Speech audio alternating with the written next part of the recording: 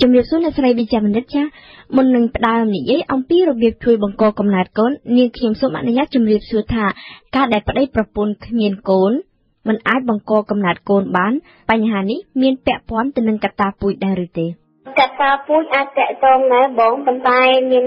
ផលវិបាកមួយចំនួនដែលយើងអាចរកឃើញថាមានមូលហេតុមកពីខាងស្រីនិងខាងបុរសណាបងចាចាមានជំងឺមួយចំនួនដែលគាត់ពិបាកនឹងមានកូនដែលតកតងនឹងពូជប៉ុន្តែមានជំងឺមួយចំនួនទៀតដែលអត់មានតកតងនឹងគឺគាត់ទេចាតែជំងឺនោះគឺជាជំងឺអ្វីខ្លះទៅដែលធ្វើឲ្យគាត់អត់មានកូននោះ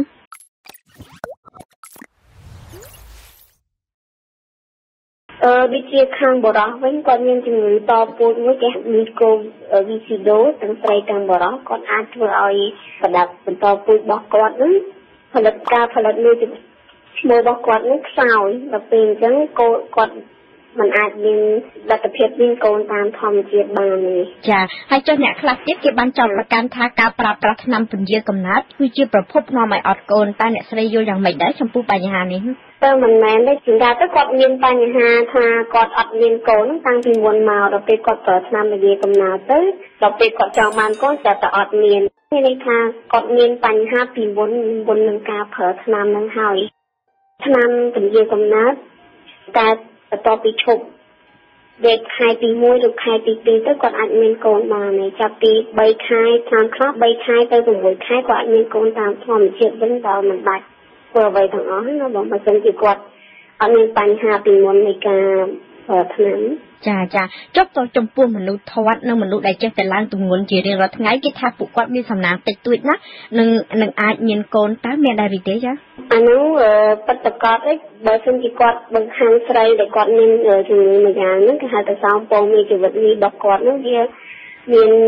ពងច្រើនពេកណា ចាពីការកប្រាំគេថា syndrome over polycystic ចាអានោះគាត់អាចធ្វើឲ្យគាត់មានបញ្ចឹងអុកម៉ូននេះច្រើនហើយធ្វើឲ្យគាត់ឡើងគីឡូហើយនឹង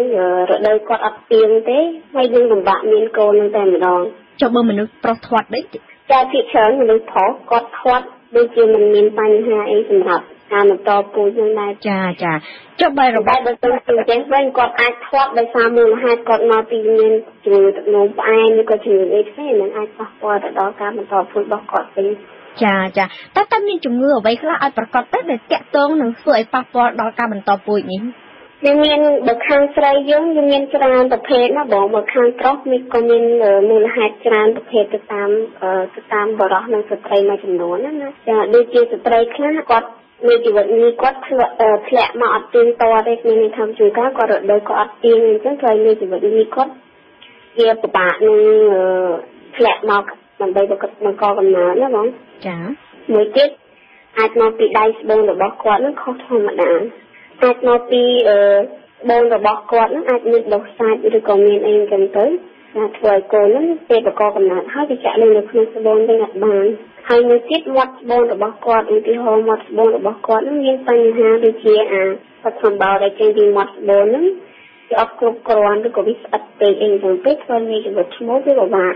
ហែលទៅជួបនៃជីវិតនេះតាមមួយទៀតកតាអុកម៉ូនគាត់អាចមានដុំមួយនឹងខួរក្បាលឬក៏បញ្ហាអីមួយនៅកន្លែងខួរក្បាលនេះធ្វើឲ្យបញ្ចេញ សារធាតុមួយយ៉ាងនេះគេហៅអុកម៉ូនប្រូឡាក់ទីនធ្វើឲ្យអាពុកប្រូឡាក់ទីនឡើងខ្ពស់ខ្លាំងកាលណាវាឡើងខ្ពស់ខ្លាំងវាធ្វើឲ្យមានជីវិតនេះយើងទុំមិនល្អទេឬក៏មិនទុំតែម្ដងឬក៏រដូវគាត់អត់ទៀងធ្វើឲ្យកម្មកកំណើតហ្នឹងអត់បានអត់អត់បានសម្រេចទេតាមមកពីបរោះវិញអាចមកពីនៃជីវិតឈ្មោះហ្នឹងខ្សោយពេកគាត់ចេញច្រើន មានចំនួនគ្រប់គ្រាន់ប៉ុន្តែអាភាពចលនាលឿនរបស់វាហ្នឹងវាយឺតទៅវាអត់វាអត់លឿនអត់រហ័សរហួនអត់អាក់ទីវទេវាវាខ្សោយចាមួយទៀតគាត់អាចត្រឹមតែចេញមកពីចំនួនតិចពេកឬក៏មួយទៀតគាត់រូបរាងនឹងខុសធម្មតាច្រើនពេកខុសធម្មតាយ៉ាងម៉េចទៅចា ខុសធម្មតាចង់និយាយថាមានក្បាលវានឹងវាអត់ត្រូវតាមស្តង់ដាក្បាលនឹងធំពេកគឺពេកអីចឹងទៅឬក៏កន្ទុយរបស់វានឹងវាវាខ្លីពេកវាប្រែកទី2ឬក៏វារមូលចូលគ្នាឬក៏គាត់ធ្លាប់កើតជំងឺនៅលើពងស្បារបស់គាត់វារលាកចាឬក៏គាត់មានបញ្ហានឹងប្រដាប់មិនចេញទឹកនោមណាចាចាចាឬក៏អាកន្លែងទៅកពេញទឹកម៉ូតគាត់ហ្នឹងគាត់រលាក ក៏អាចធ្វើឲ្យមានផលសំខាន់ដល់ការនឹងចេញពីជីវិតឈ្មោះដែរចាចាករណីដែលមូលហេតុដែលអ្នកស្រីវិជ្ជបណ្ឌិតបានរៀបរាប់ទាំងអស់បំបានបានទាំងផ្នែកខាងស្ត្រីក៏ដូចជាខាងភាគីបរិសុទ្ធនោះតែទាំងអស់នេះគឺសុទ្ធតែមានមធ្យោបាយដោះស្រាយបានវិជ្ជាសាស្ត្រអាចជួយព្យាបាលពួកគាត់បានដើម្បីឲ្យគាត់អាចមានលទ្ធភាពបង្កកំណើតវិញបានចាវាមានយើងយើងអាចជួយបានបងអាចជួយដោយ បើសិនជាករណីធ្ងន់ធ្ងរខ្លាំងអានឹងត្រូវប្រកាសនៅខាងក្រៅណាបងចាហើយបើសិនជាករណីល្មមហើយនេះដៃស្បូនគាត់នៅល្អចំណែកភាគីខាងស្ត្រីបើដៃស្បូនគាត់ល្អអានឹងយើងអាចត្រឹមតែបញ្ចូលរែងនៃជីវិតឈ្មោះបញ្ចូលទៅក្នុងស្បូនរបស់គាត់ដើម្បីជួយជួយពន្លឿននិងបន្ថយនៃឧបសគ្គនៃការហែលរបស់មេជីវិតឈ្មោះតាមរយៈមាត់ស្បូនហ្នឹងទៅជួបនឹងមេជីវិតនេះ អានឹងតារាងគេថាអង្គីណាចង់អង្គក្រោយទៅវិញចាចាអត្តមធ្យោបាយទាំងអស់នេះសិតតែយើងអាចធ្វើបាននៅក្នុងមន្ទីរពេទ្យកាឡាម៉ែតដែលស្រីវិជ្ជនិតកំពុងតែធ្វើការអឺបានតែការបញ្ជាក់ចាក់បញ្ចូលនៃជីវិតឈ្មោះនៅក្នុងស្បូនរបស់ស្ត្រីឯចំណែកឯការដែលបញ្ចាំនៅខាងក្រៅយើងអត់ទាន់មានលទ្ធភាពទេចាស់ថ្មីថ្មីត្បិតតែថាឥឡូវនេះយើងមិនទាន់មានលទ្ធភាពធ្វើមែន ការបង្កាត់ជីវិតកូននៅខាងក្រៅនេះក៏ប៉ុន្តែយើងខ្ញុំចង់ឲ្យលោកស្រីវិជ្ជបណ្ឌិតជួយជម្រាបប្រិយមិត្តឲ្យបានជ្រាបផងថាតើការបង្កាត់នៅខាងក្រៅហ្នឹងគេមានដំណើរការយ៉ាងម៉េចនិងធ្វើយ៉ាងម៉េចទៅដែរចា៎ការដំបូងគឺគេធ្វើឲ្យមានជីវិតញីយើងទុំសិនគេដោយចាក់ថ្នាំអុកម៉ូនមួយយ៉ាងគេហៅ FSH follicular stimulating hormone ដើម្បីឲ្យ នៃជីវិតនេះវាទុំមកបានច្រើននៅជំហានទុំយ៉ាងហោចក៏បាន5ទៅ10ដើម្បីបានបូមនៃជីវិតនេះចេញមកខាងក្រៅហើយបានគេប្រកាសជាមួយនឹងនៃជីវិតឈ្មោះនៃជីវិតឈ្មោះនោះក៏យើងត្រូវបូមពីពីបរោះជាប្តីបរោះហើយបុកចាយើងមានវិធីមួយគេហៅគឺគាត់លេងខ្លួនឯងដើម្បីបានតកាមនឹងមកហើយយកតកាមនឹងមក លាងវាឲ្យសម្អាតលាងវាឲ្យស្អាតយកអាងាប់ងាប់ចេញទៅយើងយកតែរស់រស់ទេយើងមកដាក់ប្រកាសជាមួយនឹងនៃជីវិតនេះហ្នឹងចឹងហើយបើសិនជាមានជីវិតឈ្មោះករណីធ្ងន់ធ្ងរខ្លាំងយើងអាចប្រើវិធីមួយទៀតគឺគេចាក់បញ្ចូលនៃជីវិតឈ្មោះចូលទៅក្នុងចូលទៅក្នុងនៃជីវិតនេះតែម្ដងហើយវិធីដំបូងទី1ដែលខ្ញុំនិយាយហ្នឹងគេគ្រាន់តែដាក់វាឲ្យវានៅចិត្តគ្នាវាកាត់នៅខ្លួនឯងណាចាចាហើយវិធីទី2គេអាចចាក់បញ្ចូលតែម្ដង ជីវិតញីជីវិតឈ្មោលពីបោកចូលគ្នានឹងហើយហើយបន្តមកទៀតតើត្រូវទៅណាទៀតទៅជីវិតចាបន្តបន្តពីមកទៀតបន្តពីយើងដាក់បង្កាត់ហើយនៃជីវិតឈ្មោលហើយនៃជីវិតនេះបង្កាត់គ្នាហើយវាកើតជាអឺជាជាអំពីយងមកចាជាពីកូនមកកូនហ្នឹងអាយុបានគេមើលសង្កេតមើលថាកោសិកានោះវាបែកជាជាកោសិកា2កោសិកា4ទៅមើលតាមគុណភាពរបស់វាបើសិនជាគុណភាពល្អมันគេចាក់អាអំពីយង នឹងចូលទៅក្នុងស្បូនរបស់គាត់វិញចាហើយកូននោះហើយអំរយងកូនហ្នឹងនឹងលូតលាស់តាមធម្មតានៅក្នុងពោះម្ដាយមិនគ្មានផលវិបាកអីទេជាទូទៅ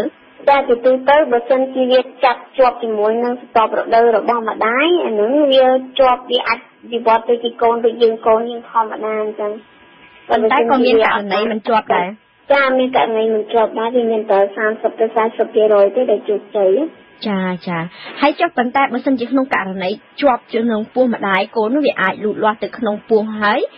តើស្ត្រីជាម្ដាយនឹងអាចមានរងផលវិបាកអ្វីពេលកំពុងពោះពោះនិងពេលក្រោយសម្រាលដែរឬទេឬក៏ជាដូចជាករណីធម្មតាដូចជាករណីធម្មតាវិញបងមានគឺជាបញ្ហាអីទេពួកអីអាហ្នឹងមុននឹងគេបញ្ចូលគេមើលអំពីយ៉ងហ្នឹងតើតើកូនហ្នឹងមាន